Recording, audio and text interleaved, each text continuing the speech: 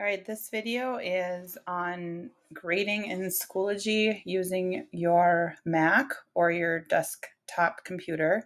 So you want to be logged into Schoology and um, you want to click on the course that you want to grade in and then um, you want to find the assignment. So first off, I have, um, I changed the due date of this assignment um, to Friday, August 13th, just so we could, um, I could show you what I am um, doing. So click on the actual assignment and on the very right is going to be all your students that um, this one is submitted. If you go to this little drop down, you have options. You can, um, you can have, you can just see who's turned it in so that you've received. So I had 15 students in this class. Um, so 13 out of the 15 um, actually turned it in. Um, I graded all of them. So if you, let's say you only graded five, but you have eight more to do and you don't want to see all of them, you could just click on the needs grading and just the students that you haven't graded yet um, will be there.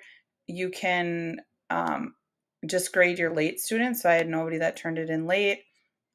Or you can just um, click on the students that already graded, or you can see who did not turn it in. So which two students did not submit it.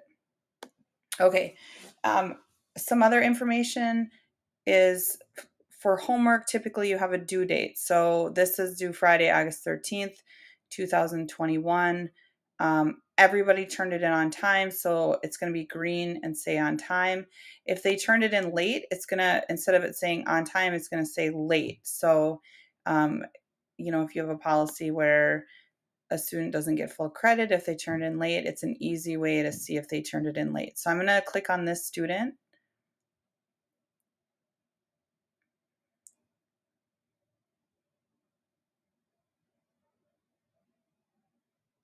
All right, so here's um, this student's assignment, solving proportions.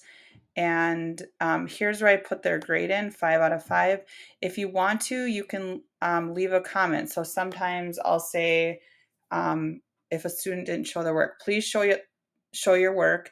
And you want to click on show to students so that they can um, actually see it.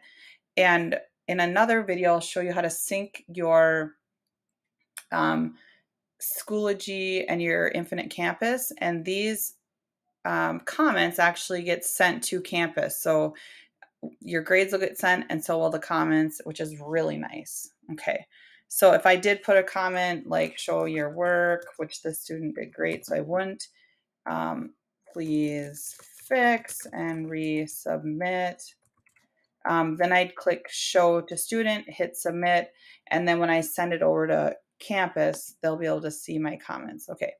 Um, some other things, some other features is um, it's kind of awkward to use um, on a Mac, but you can, you know, if you want to draw a circle around something, if you want to, um, you can delete it. If you want to um, highlight, you can, you know, highlight a particular um,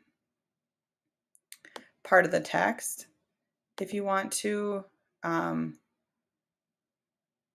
if you want to leave a note for the student, whoops, you can do that as well. Like, you know, please um, add your name. Or if you're grading an English paper, you could leave a comment like, please use a proper ending to your sentence. I don't know and there you go. So there's lots of features um, you can use with um, the grading piece.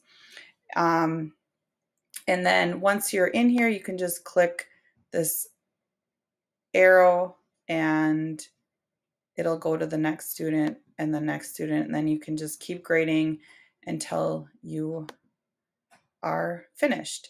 Um, if you do make a comment right here, all the students will be able to see it. So if you want to make a comment about um, the assignment, all students will be able to see